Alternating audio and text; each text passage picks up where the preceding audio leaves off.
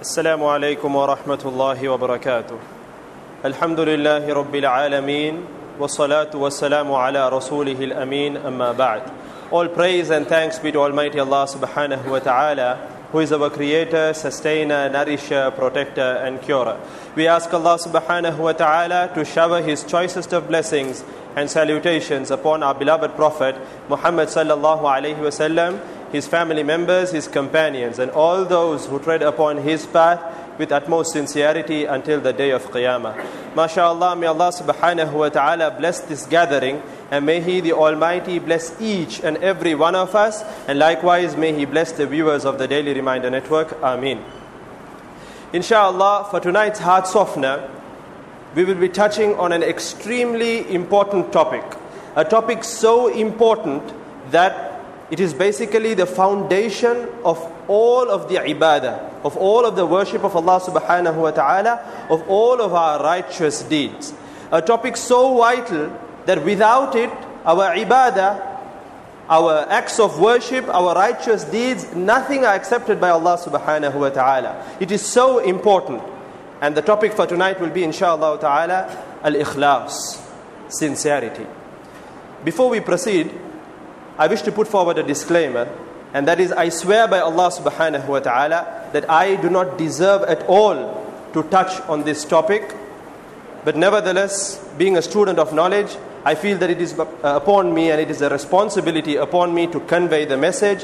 May Allah subhanahu wa ta'ala forgive all of our shortcomings and may He the Almighty hide our shortcomings and may He the Almighty beautify our withins just as how He has beautified our exterior appearances. Ameen.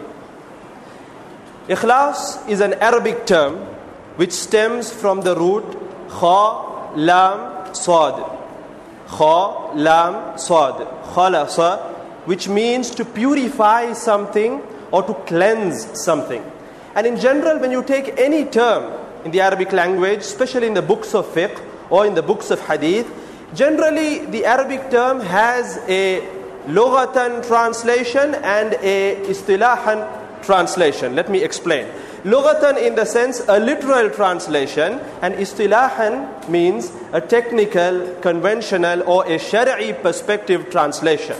For example, if we take, take the term salah, Salah in its literal sense, in its lughatan sense, that is literal sense means dua or invocation.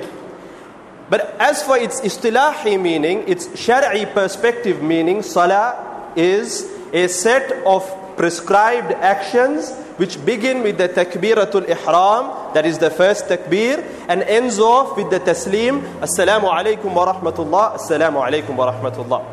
So likewise, ikhlas too has a lughatan definition and a istilahan definition. So let's first swiftly cover the lughatan definition. The famous lexicographer Ibn Manzur mentions in his famous dictionary, Lisan al-Arab, the tongue of the Arabs, that ikhlas, in other words, khalasa yakhlusu khulusan wa khalasan, means to purify, to purify, to be protected, to be purified, to be chosen. And from that stems another word, mukhlas. Mukhlas means a person who has been protected, who has been chosen, who has been purified. And look at the way Allah subhanahu wa ta'ala talks about Yusuf alayhi salatu wasalam The story where the lady of the house where Yusuf alayhi salatu wasalam was a slave in, she tried to seduce him. She tried to seduce him and Allah subhanahu wa ta'ala mentions the story and he states, كذلك لنصرف عنه السوء والفحشاء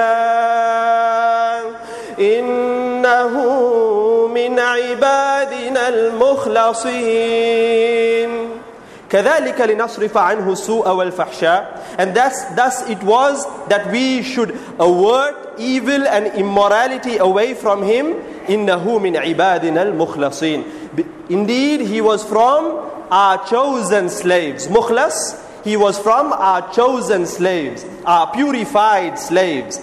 And then look at where Allah subhanahu wa ta'ala mentions the statement of Iblis in the Quran, where Iblis stated, فَبِعِزَّتِكَ لَأُغْوِيَنَّهُمْ أَجْمَعِينَ إلا عبادك منهم المخلصين Ya Allah, by your might, Iblis stated this. Ya Allah, by your might, I will misguide all of them. إلا عبادك منهم المخلصين except for your chosen slaves. Allahu Akbar. Mukhlas in the sense chosen, purified, protected. And then the next term, mukhlis, with a kasra. We discussed about mukhlas and now mukhlis. Mukhlis means a person who has beautifully adopted ikhlas in his life.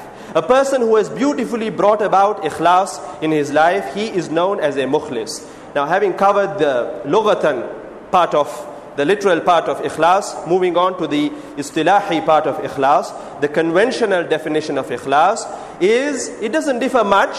It means to purify all of your actions, to purify your deeds, to purify your worship with the correct intention away from all types of shirk.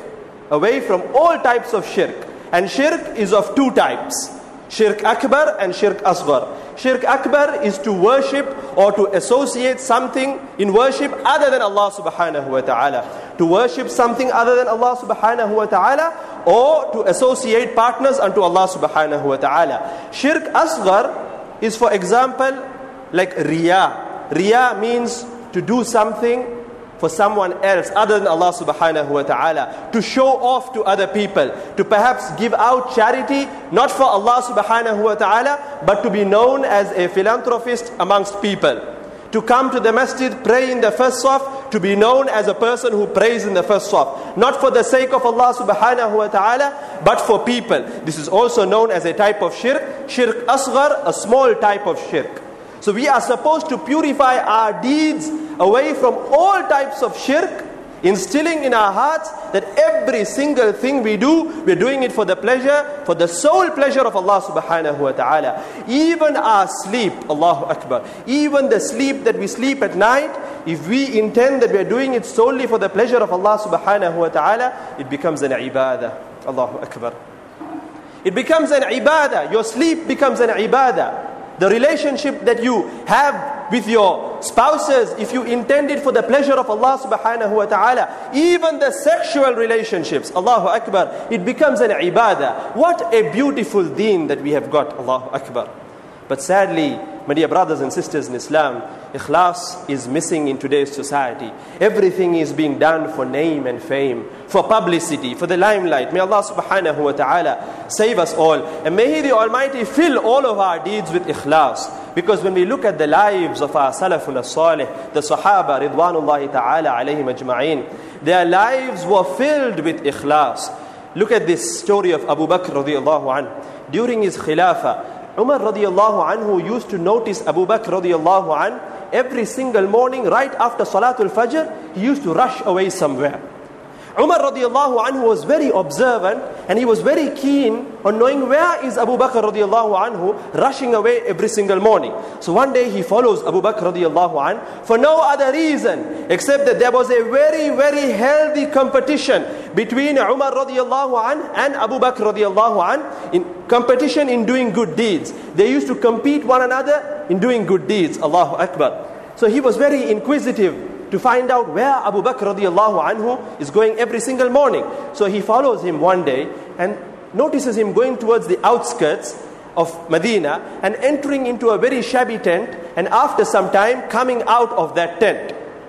So he notices Abu Bakr radiallahu anhu entering the tent and then coming out. So after he left, he goes into the tent, he enters the tent and he sees that there's an old woman in the tent.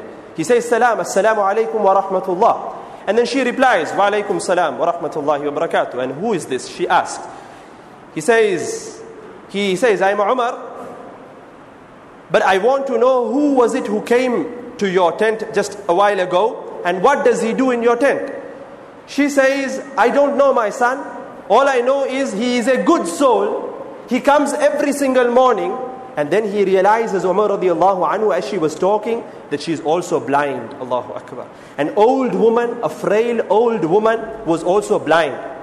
She says, I don't know. He's a good soul who comes every single morning, cleans my tent, sweeps my tent, cooks food for me and for my little children, because she was a widow too. He cooks food for my children, he washes my clothes, he arranges the tent, and he leaves. Wallahi, I don't know who he is. Allahu Akbar. Umar radiallahu anhu, his throat chokes and then he says, Ya Aba Bakr, Wallahi, Ya Aba Bakr, you have made the post of Khalifa extremely difficult for the person coming after you. Allahu Akbar. You have made the office of Khilafah extremely difficult for the person who is coming after you. Now let me mention a story about Umar radiallahu anhu. Umar radiallahu anhu during his Khilafah, he had this habit of patrolling the city at night. Many of you all must be aware of that. He used to have this habit of patrolling and checking on his subjects. He used to go perhaps in disguise so that people would not know it's Amirul Mu'mineen, people would not know it's Umar radiallahu an, and he would go checking things, checking uh, the situations of his subjects. So one night, he goes out, he passes by the outskirts and he sees a tent pitched out there. So he goes by the tent and he notices an individual seated out of the tent a person he does not recognize. So immediately he determines that this is a traveler or a passerby who has stopped. So he asks him, Ya Rajul, oh man, what brings you here? What do you want? He says, It's none of your business. What's your problem? You go away. Umar radiallahu anhu says, No, I wish to help. Please tell me, why have you come? Then he says, I have come to meet Amirul Mu'mineen, Umar radiallahu anhu. Then Umar radiallahu anhu asks him, Have you ever seen or have you ever met Amirul Mu'mineen? To which he replies, No, I haven't, but I have some issues to discuss with him, and that's why I have come. Whilst they were conversing, suddenly a groan emits from the tent. And then Umar radiallahu anhu asks the man, Who is that groaning in the tent? Because it was a groan of a woman. Who is it groaning in the tent? What is going on? Is someone in pain? To which again he replied, Mind your own business and go away. Umar radiallahu anhu says, No, tell me please, I can help you. Then he says, It's my wife, she's in labor. Allahu Akbar. Umar radiallahu anhu, a shudder goes through him. In my khilafah, there is no one to look after a lady in labor. He rushes back home. He rushes back home and he wakes up his wife in the middle of the night. Allahu Akbar. And he asks her, My beloved wife, do you wish to do a good deed and earn the pleasure of Allah subhanahu wa ta'ala? To which she readily accepts and jumps out of the bed. Allahu Akbar. Look at the relationship between the husband and the wife. Today, if we try to go wake, wake up our wives in the middle of the night, we might get another reply from them. But then she jumps out and then he tells her what needs to be done. And while she gets things ready to help the lady in uh, labor, he goes and gets some provisions, some flour and things like that to cook some food. And both of them, husband and wife, they rush to that tent. And whilst Umar radiallahu anhu's wife was helping that lady in labor, Umar radiallahu anhu, he himself goes and collects some firewood, lights up a fire, and then starts cooking some broth. He starts cooking some broth where he puts some flour and some meat and he starts cooking. All the while, the man who was seated on something was observing everything very quietly. He didn't make a move, he was just observing. After a while, now the broth is cooking, and then suddenly they hear the cry of a newborn. And then Umar radiallahu anhu's wife cries out, Ya Amir al Mu'mineen! Allahu Akbar. Ya Amir al Mu'mineen, give glad tidings to your companion that he has been blessed with a baby boy. The minute that man heard the title Amir al Mu'mineen, he almost fell off what he was seated. Allahu Akbar. He could not believe. Amir al Mu'mineen, the Khalif, the Caliph that I have come to meet, is seated on the ground cooking broth for me, whilst his wife helped my wife in labor. He could not believe it. Allahu Akbar.